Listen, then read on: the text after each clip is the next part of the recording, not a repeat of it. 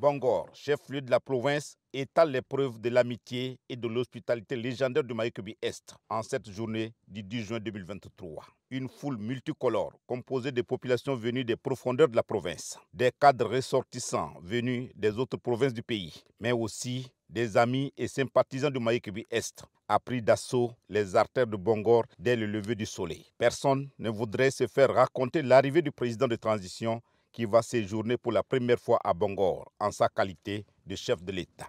L'un des motifs de cette gigantesque mobilisation de la population, c'est aussi la bonne nouvelle de la refondation du Tchad et de la relance du développement économique et social, tout azimut, des différentes provinces portées par le président de la République au cours de cette tournée. La visite du chef de l'État dans d'autres provinces a laissé une marque indélébile sur les habitants les mots d'espoir prononcés par le président de la République, général Mamad Idriss Debitno, ont insufflé un nouvel élan dans la confiance et la détermination au sein de la population, renforçant ainsi les liens de fraternité entre lui et ses concitoyens.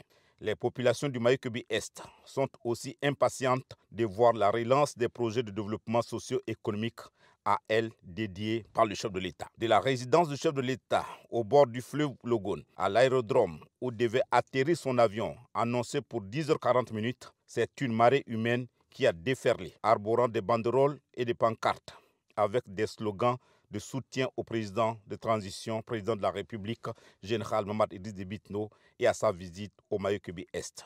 Tout autour de l'aérodrome, l'ambiance est carnavalesque. Les partis politiques, les associations de la société civile, les groupes de danse folklorique rivalisent d'ardeur et de talent. Le gouverneur de la province, Abdelkerim Seyd Bosch, le commandant de la zone de défense numéro 12, général Abderrahim Issa Aladj, le maire de la ville de Bongor, Djibetsu Mitalassou, Dr Ramatou Mamato Umtoin et les différents corps constitués sont en place. L'attente ne fut pas longue car à l'heure prévue, l'hélicoptère à bord duquel se trouvait le président de transition amorce l'atterrissage. Les civilités d'accueil au bas de la passerelle sont assurées par le gouverneur, le commandant de la zone de défense numéro 12, le maire de la ville et docteur Ramatou Umtoin.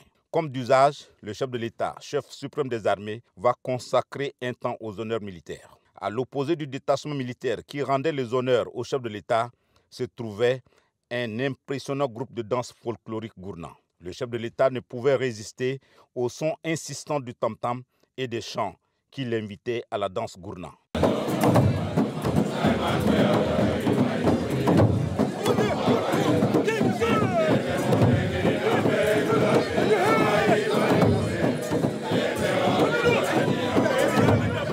C'est ensuite que le président de la République reprend le fil de la cérémonie protocolaire en échangeant les poignées de main avec les différents corps constitués venus l'accueillir. Le chef de l'État, visiblement ravi de l'accueil dont il est l'objet, va monter à bord de son véhicule pour rendre la politesse à tous ceux qui ont fait le déplacement de l'aérodrome pour le saluer.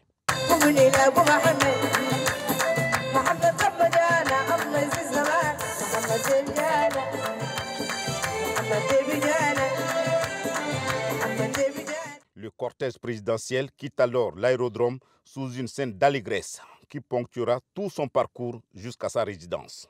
Des chants de bienvenue et des danses traditionnelles ont rythmé son passage, créant une atmosphère festive empreinte d'enthousiasme. Par cet accueil extraordinaire, le Mayukebi Est a montré tout son attachement et sa totale confiance au leadership et à la vision du président de transition, général Martidis Debitno, qui engage le pays dans son processus de refondation.